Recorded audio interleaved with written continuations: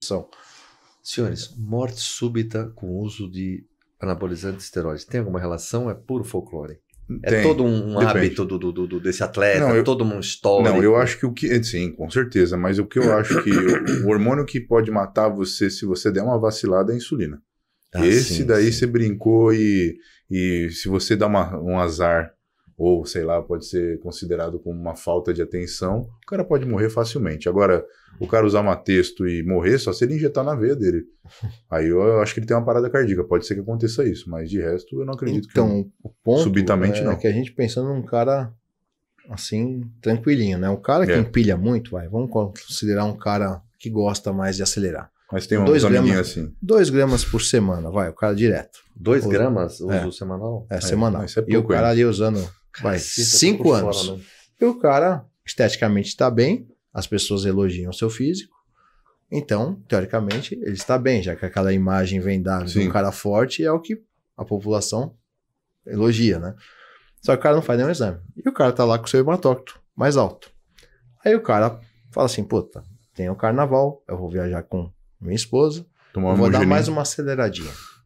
Aí o cara pega um T3, faz uma desidratação, e o cara tá com hematócrito alto, as pistas mais congestionadas do Sangue sistema mais grosso, sanguíneo. né? Vamos dizer assim. Aí, de repente, o cara indo lá pra praia, toma uma fechada, briga, tem um disparo adrenérgico, e lá forma um coágulo, o cara tem um AVC, tem um, um evento.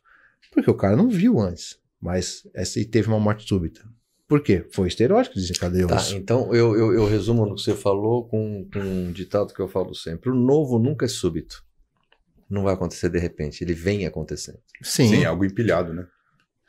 O novo nunca é súbito. Então Você não é tava- que ah, você- eu tava você aqui, criou tive, um não, ambiente. não é que você tinha. Não, o cara já. Não, pode ter Já. certeza que o cara tava sentindo já. Há muito tempo ele já tava Tá, sentindo tava sinais. formando tudo Por exemplo, isso aí. você não limpa aqui a rua e vai É. deixando o lixo empilhando. Só tá faltando a chuva. É. É. Vai acontecer desastre, a inundação. Então, se você não cuidar, não fizer exame, não ver, não é que é, ah, o cara é chato, o cara só fala em exame. Não, não é.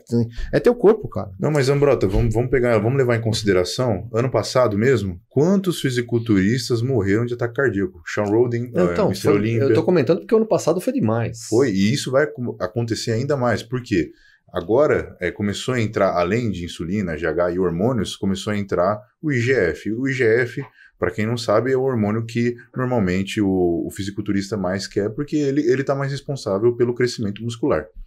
E hoje tem esse o Increlex, né, que Sim. utilizam bastante. Eu acho que ele é uma das maiores causas de ataque cardíaco, porque os maiores receptores de IGF também estão no coração e nas vísceras na parte baixa do intestino. Hum. Por isso que o cara que utiliza muita insulina, ele vai tender a ficar com a cintura larga, porque tudo aquilo vai expandir, mas o coração também cresce bastante. Então eu acho que é por isso que os fisiculturistas Seria uma hipertrofia cardíaca. com certeza Ah. e bem alta, viu? Bem alta. Nas bem câmeras ali. Só que é aquilo que a gente aumentando E a hipertrofia não tem tanto problema assim. o É uma perda de função, né? Sim, o Do- coração ele vai, ele bate assim, ele vai começar a ficar assim, ó.